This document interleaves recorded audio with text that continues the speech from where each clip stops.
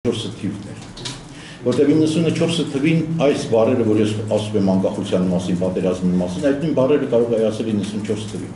94 թվին մենք ունենք անկախ պետություն, արդեն զգացում է, որ այդ անկախությունը պահպանվող անկախություն է, պատերազմը հաղթել էին,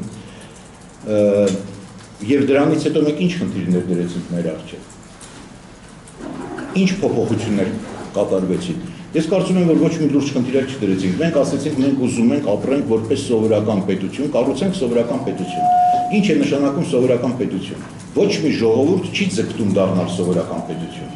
Ամեն մի պետություն ձգտում է շատ ավելի մեծ բանի, երբ որ չի ստացվում դա, դառնում է սովորական պետություն։ Մեծ կայսրությունը համաշխարհային պետություն լինելով քանդվում է, դառնում է սովորական պետություն։ Խնդիր դառնալ սովորական պետություն այդպես խնդիր պիտի չլիներ։ Մենք պետք է մեր արժեք խնդիրներ դնեինք Ես չեմ տեսնում, որ այս տարիների ընթացքում 94 թվից հետո մենք լուրջ խնդիրներ ենք դրել եւ այդ խնդիրները կարողացել ենք լուծել։ Ես կարող եմ ասպարեզներով գնալ, օրինակ գյուղատնտեսությունը եթե մենք վերցնենք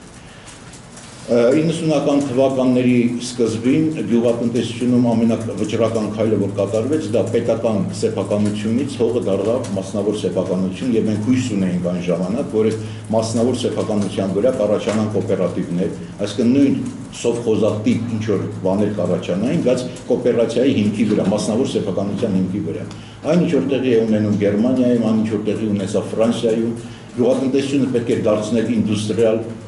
որևիցե բան այդ հարցում չի փոխվում։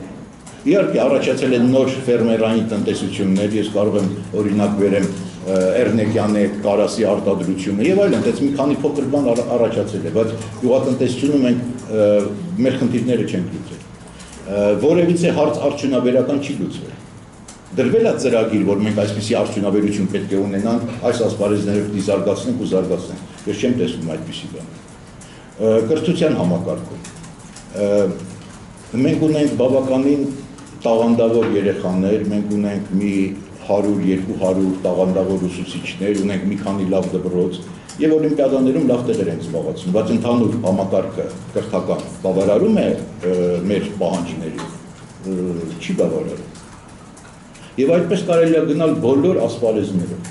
Խնդիրը այն է, որ մենք խնդիր չունենք դրած մեր առջև։ Մենք ուղղակի ապրում ենք Ես այստեղ Եթե ես այստեղ ում եմ քննադատում։ Ես իհարկե քննադատում եմ եւ իշխանությունների եւ առաջին նախագահային եւ երկրորդին եւ երրորդին։ Ես քննադատում եմ վարչապետներին, որոնք եղել են, բայց քննադատության մի մասն է դա։ Իսկ հասարակությունը ինչ խնդիր է դրել իր առջև։ Մեր հասարակության գերխնդիրը ո՞րն է։ Ես այնպես եմ հասկանում, որ մեր հասարակության գերխնդիրը դա իշխանություն փոխելն է։ Իշխանությունից վրեժ լուծելն է, ուրիշ խնդիր հասարակությունը չի դնում դառնալ սովորական պետություն,